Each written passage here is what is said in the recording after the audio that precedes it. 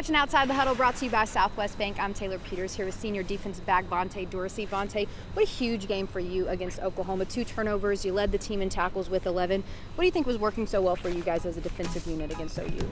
Um, we had a great understanding of what they were going to come out and do. Um, just starting fast for us was a big thing, and just being able to un understand the offense completely and, and just the mentality of how they run it.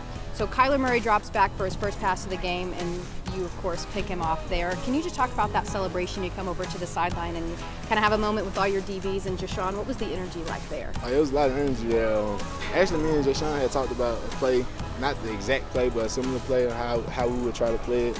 I mean, it worked out. It worked out pretty good. We talked about it in the hotel earlier today, and it just it actually worked out.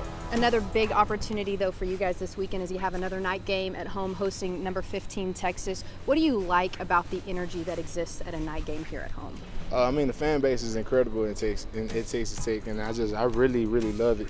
And just for them to come out how they doing, come support us, and just show us so much love at the night game, and just bring the atmosphere. I mean, it's, it's, it's incredible, and I mean, I, I live to do it again. And, and I know that your mom means a lot to you. She was able to be here last weekend. She drove a long way to be able to watch you guys play OU. Is she gonna be able to make it back for Texas? Most definitely. Last two home games, she didn't have anyone. She just came by herself, and I really you know, got the utmost respect for that. Yeah, and I know that you said you wanted to be able to pull out a win for her, so maybe we can do that this weekend on Senior Day. Yes, sir. Texas Tech hosting number 15 Texas inside Jones AT&T Stadium Saturday at 6:30. For details and tickets, go to texastech.com. For Vaughnte Dorsey, I'm Taylor Peters. This is Outside the Huddle, brought to you by Southwest Bank.